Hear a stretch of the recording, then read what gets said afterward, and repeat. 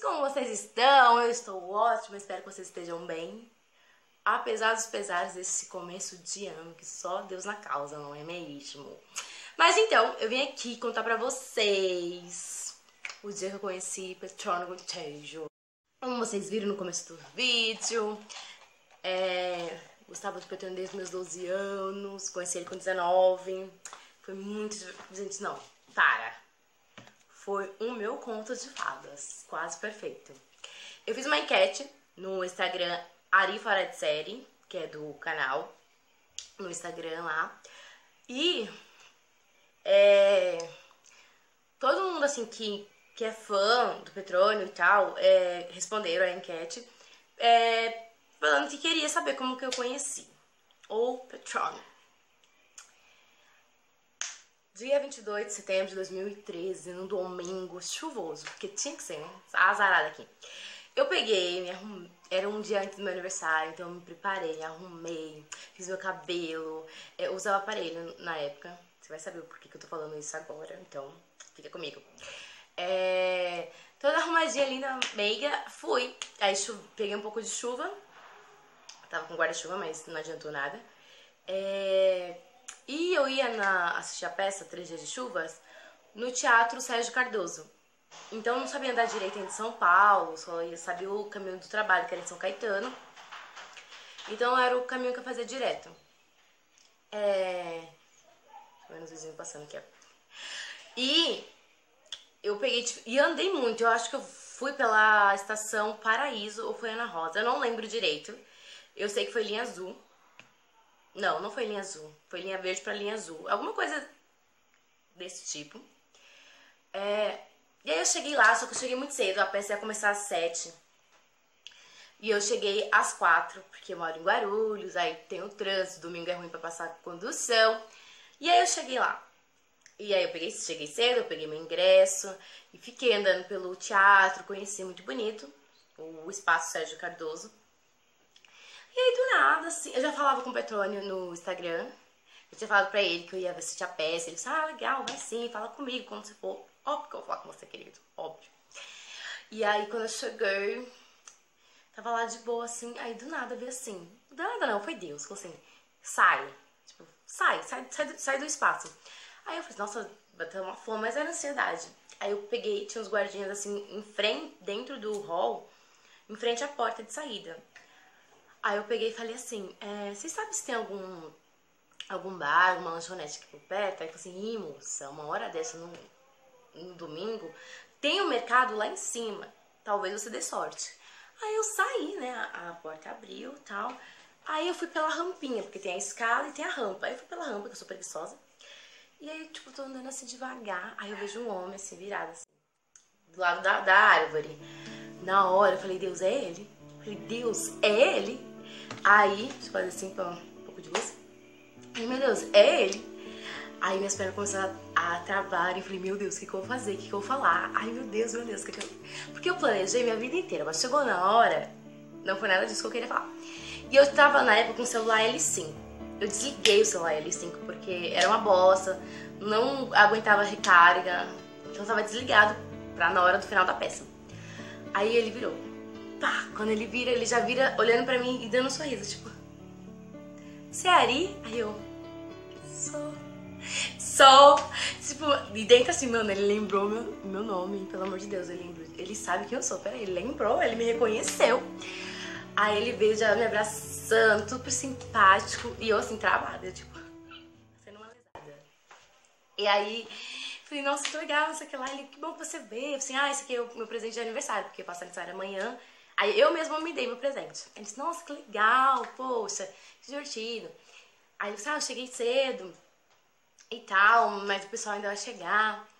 Aí eu, tentei, aí eu peguei meu celular assim, deixa eu tirar uma foto com você já? Aí ele assim, claro, mas se você quiser, a gente tira depois do, da peça. Eu disse, não, peraí, a gente nunca sabe. Celular, aí eu tentando ligar o celular, vocês, Deus, liga esse celular, pelo amor de Deus. Celular aqui é ruim. Aí ele, não, tudo bem.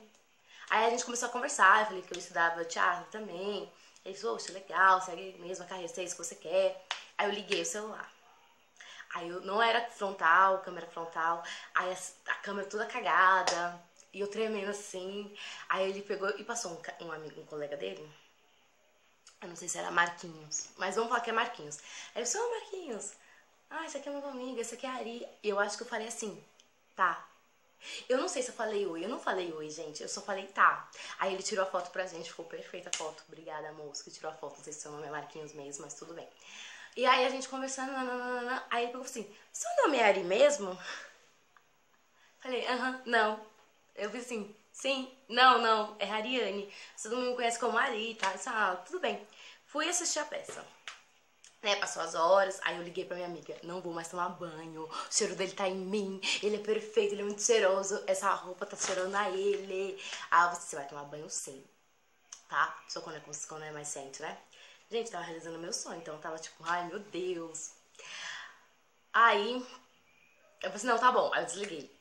Aí, aí eu mandei pra minha amiga a foto, porque minha mãe falou assim, ela, ela começou a falar assim, se você chegar em casa estressada, chorando porque você não conseguiu falar com o Petrônio, você vai apanhar. Ela me falou isso pra mim, gente. Aí eu fiquei tipo, segue, mãe, tá tudo tranquilo. E assim por dentro, meu Deus, se eu não conseguir, eu vou ter um treco. Aí eu peguei mandei pra minha amiga, minha amiga mostrou pra minha mãe, minha mãe falou assim, não é que ela conseguiu mesmo? Eita! Eu falei assim, claro, querida. Aqui é tico tico não fumar.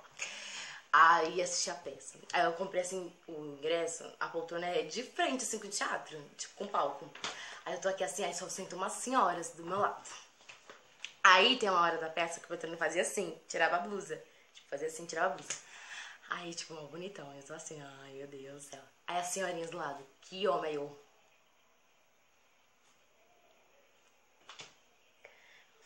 Cara assim, vocês tiram o olho do meu homem, que é isso? Do meu, do meu man, que é isso? Na época era, gente. Aquela emoção do amor. Aí eu fiquei tipo olhando assim, falei, ai Deus, me ajuda. Aí depois, a peça acabou, é, a gente tem que esperar lá no hall, em frente ao elevador. Aí o Otávio Martins apareceu, foi aí que eu conheci o Otávio. Muito simpático, maravilhoso. Até hoje eu vejo o Otávio, acho que eu já vi ele umas 10 vezes. Em 2017 acho que foi o ano que eu vi mais o Otávio, tá, gente? Deve ter cansado de, de me ver.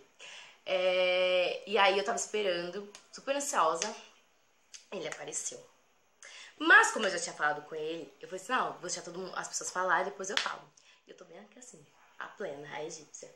Aí ele falou assim, é, ô, ô gatona. Aí eu olhei, tipo, pra ver com quem ele tava falando. E era comigo.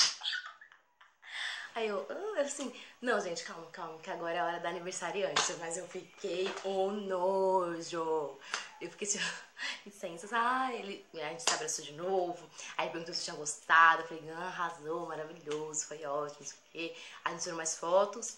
Aí eu peguei o e-mail dele. Aí peguei o e-mail, né? Falei, ah, anota seu e-mail. Aí ele tive essa coragem. Ele pegou, anotou. Ele disse, ah, mas ele é TV, você imagina, né? Não. Ele anotou o e-mail dele. Aí quando eu tô virando assim, veio uma moça. Já era conhecida dele. Aí ela falou assim, ai, Petrão, não sei o que lá, eu perdi seu número.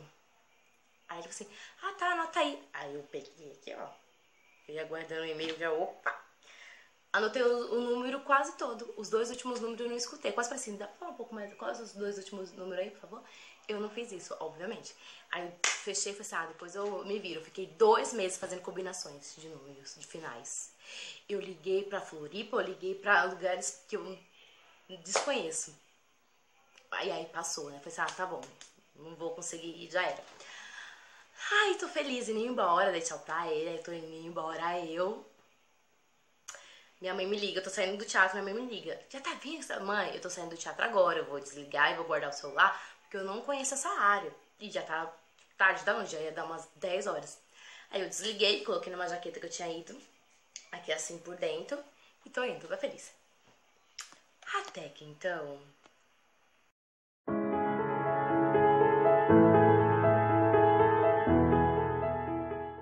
Tinha o ponto de ônibus coberto, você podia passar por fora e por dentro. Eu falei, eu falei assim, eu atravessei e falei assim, vou passar por fora.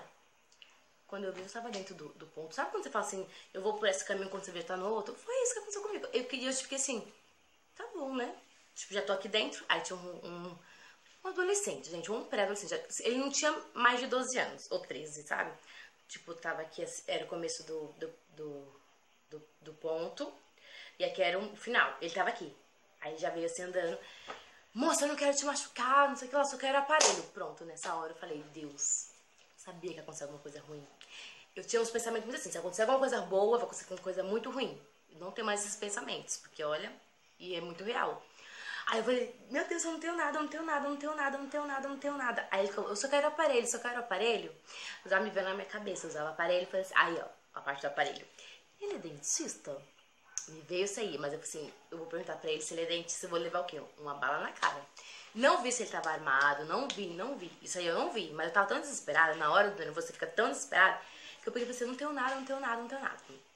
Eu cresci na igreja, eu sou cristã, tipo, eu acredito muito em Deus, Deus é a minha base.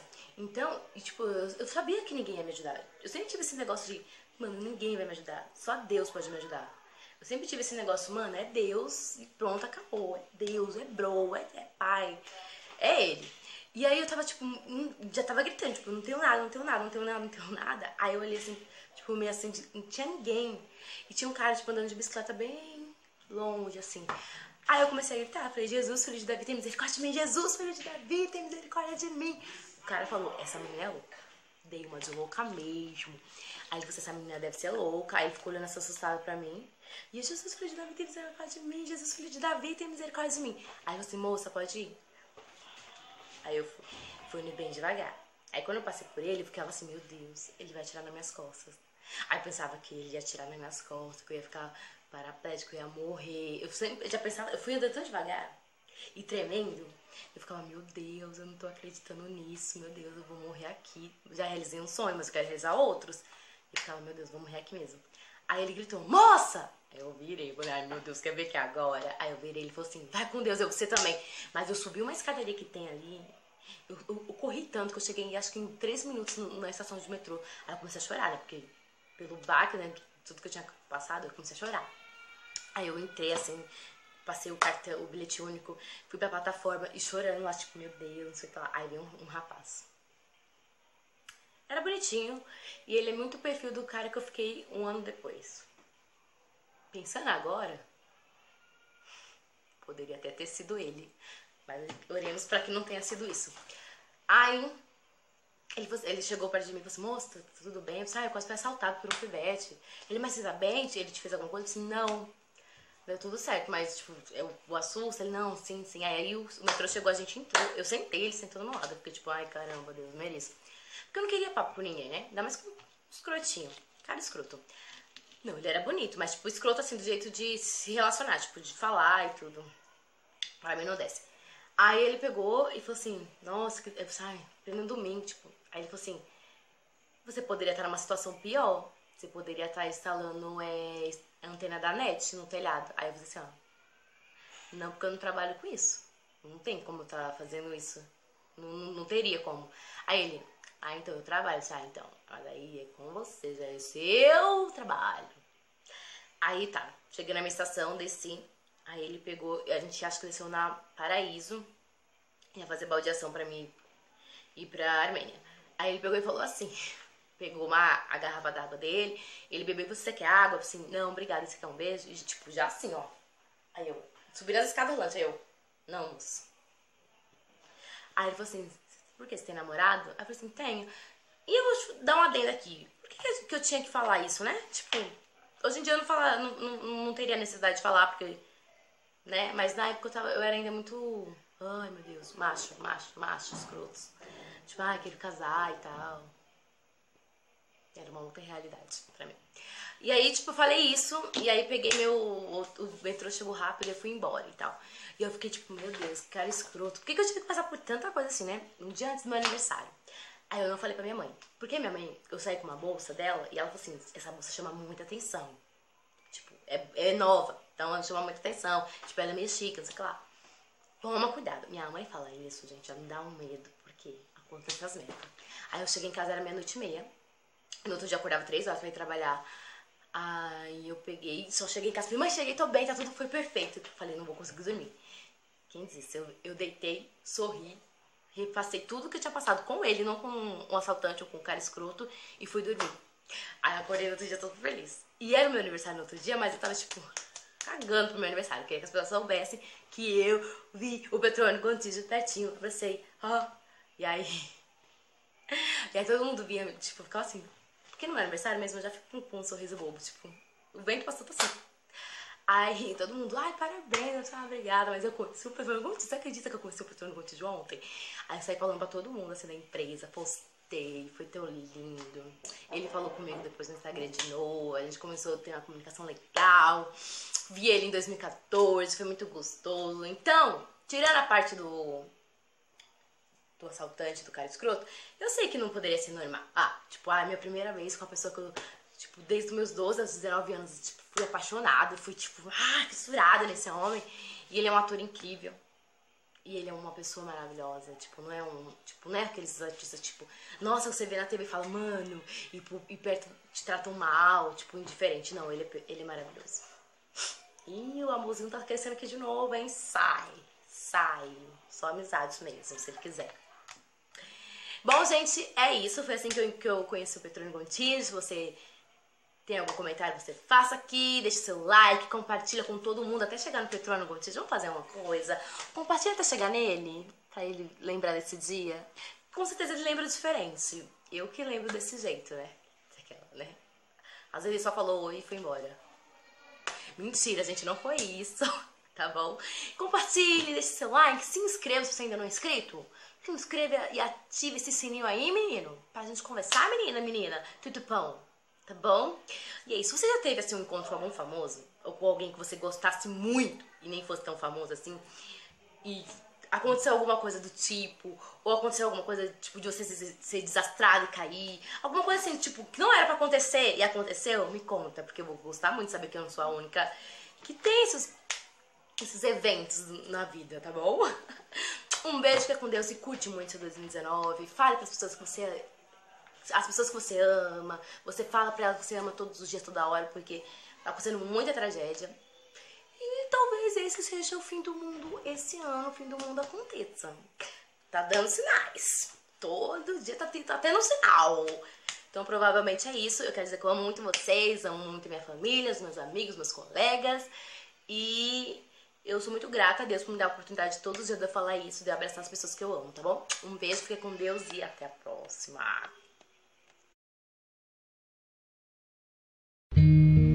I don't